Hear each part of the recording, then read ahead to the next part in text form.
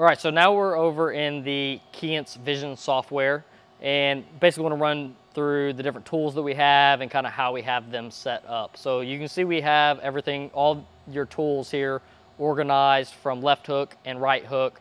Uh, all the tools within them are basically the same tools and we're utilizing the tools in the same manner, which makes sense because the hooks are the same. This is also a list of all the different tools and the tool IDs, uh, which is this T number right here, tool IDs that are associated within this left hook group. So I can right click over here and then you'll see the right hook group.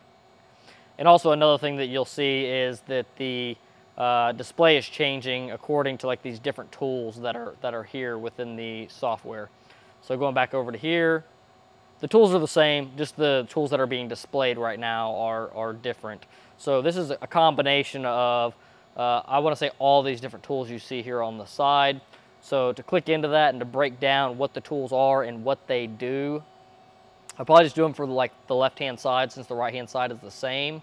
But they both have what we're, we're calling a master tool. So this master tool is doing the initial identification so this tool needs to be working appropriately for any of the rest of the tools to be working because this does an initial identification that then locates where the part's at so that way we can perform all the other tests accurately. So going inside this master tool, uh, this is the search region of the camera and this is the area we're looking to be a match. Now the data that we're utilizing for this particular tool is the angle data so we're using this for the bent hook test. And then that's the only data that we're actually utilizing from this tool to do a pass fail.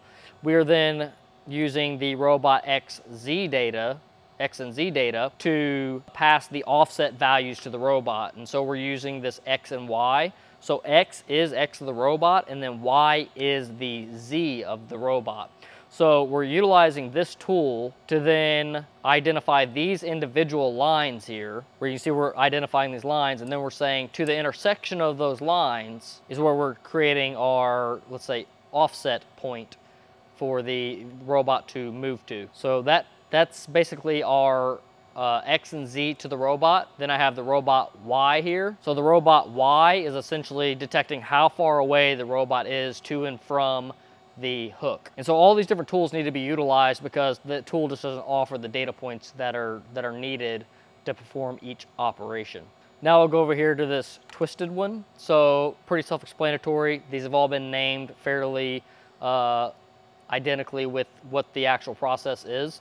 So this will detect if the hook is twisted. And then we're also testing if the hook is bent front to back in another tool. Before I move to that one, I wanna just say we're utilizing this angle from horizontal as our data point for how much angle is in this part. So right now we're getting a 2.5 degrees. Now this 2.5 degrees has been zeroed out in the PLC to then, this is a good part. So this is actually giving us a zero degree angle through our master data because this is what a good hook looks like. Now I'll take you over to the bent front to back. So again, the reason why we have uh, the one tool that's, that's doing bent left to right in that master tool is because it can detect the rotation in this 2D flat plane However, this is a front to back type of motion, so we have to detect degree angle in a different way. Uh, as you can see, this degree angle is just automatically coming in from the camera as, as pretty much a zero. Just not all things work out like that. Like if we go look at the XYZ intersection, you'll see that this is X65. Y16. And then if I, actually, if I go over to the right hand hook, the right hook, and I go to that exact same tool, you'll see the values are completely different. And this is another reason why the, the, the data has to be zeroed. So this data is coming in as a 153 in X and also coming in as a 19, uh, is coming in as a 19 in Y. And that's because Y is the Z direction. So up and down, they're fairly similar to the same height, but left to right, they're very they're in two completely different places within the vision's, let's say, field of view or, or coordinate system. So that's pretty much the rundown of all the different tools that we're utilizing within the system. Obviously, we didn't go deep into like what each tool is doing specifically and how it operates, but that gives you an idea of each individual tool that we are using and, and a little bit of how it's working and where we're getting our data from.